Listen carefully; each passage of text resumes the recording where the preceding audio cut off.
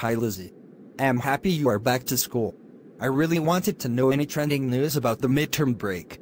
I got some rumors that Loretto girls are already home. Yes. Happy to be in school too after the one week suspension for the purported disrespect to the teacher.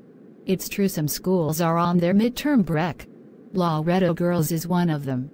The Nairobi school have just gone today as I was coming to school. You know with us we had gone too early for our midterm break.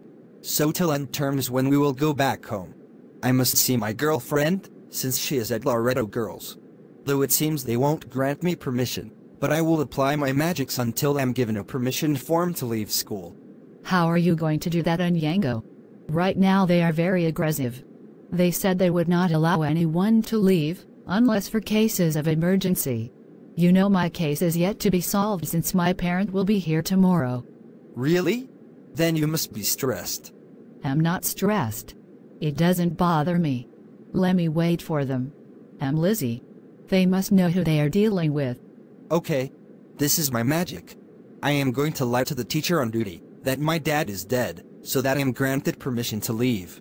I guess this is the red bet. Isn't it, Lizzie? You've made my day.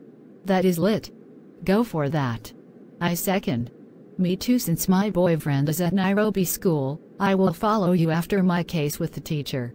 I can't be here while my boyfriend is at home.